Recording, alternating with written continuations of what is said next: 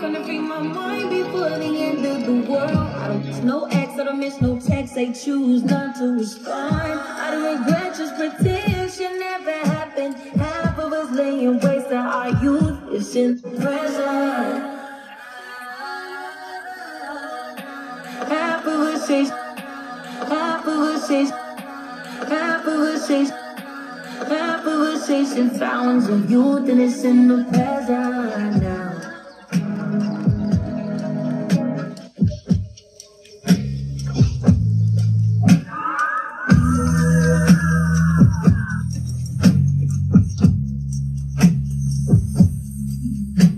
Thank you.